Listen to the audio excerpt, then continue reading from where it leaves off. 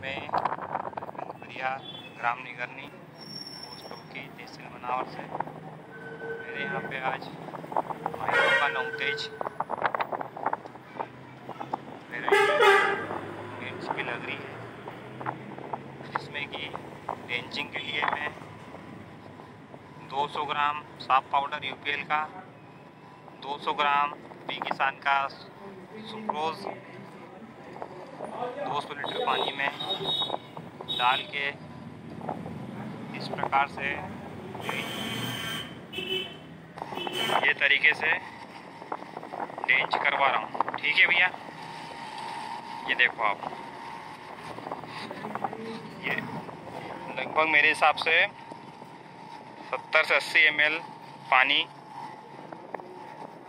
लगभग एक पौधे में जा रहा है। ठीक है भाई साहब।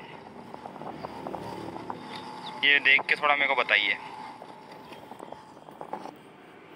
भैया, नमस्कार। बहुत बढ़िया काम किया आपने। कोई सा भी प्लांटेशन अगर हम कर रहे हैं, वहाँ पर उसको लगाते समय अगर बड़ा पौधा है तो कीचड़ बना के लगाना है, जैसा केला है, पपीता है, या आम, जाम, नींबू है तो कीचड़ बना के लगाना है तो उसमें फफूंदी नाशक और सुक्रोज ले सकते हैं, जो वाइसेनोमेटा कंटेन आता है उसमें।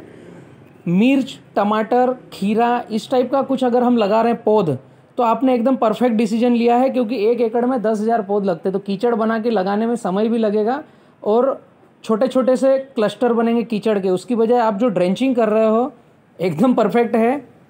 बहुत अच्छा रिज़ल्ट आना है इसमें मिर्च में और आप आगे फीडबैक देते रहिएगा कि सुक्रोज का वाइसेनोमेटा का उपयोग करने से मिर्ची में क्या रिज़ल्ट हो रहा है गो अर्क के ट्रीटमेंट से क्या रिज़ल्ट हो रहा है।